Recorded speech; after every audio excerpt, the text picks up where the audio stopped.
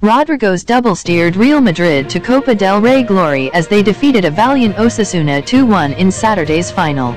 The Brazil forward netted twice to guide Los Blancos to their second piece of silverware this season in front of a packed Estadio de la Cartuja.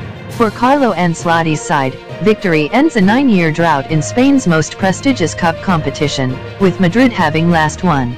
In 2014 during the Italians' previous spell in charge. But it is a tough result for Jagoba Arrasate's Osasuna to take, after Lucas Torro's strike had given them hope of an upset in their first appearance in a Copa del Rey final in 18 years.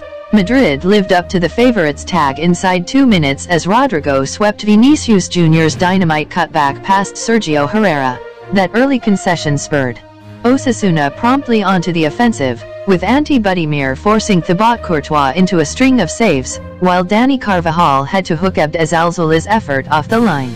David Alaba struck the bar as Madrid aimed to double their lead, with Vinicius' hopeful appeals for a penalty falling on deaf ears on the stroke of halftime. Madrid paid the price for those misses just before the hour mark. When Torro struck a superb low strike beyond Courtois from outside the box. Yet Madrid recovered and, after Toni Kroos saw his shot deflected, Rodrygo was on hand to pick up the pieces and prod another finish home.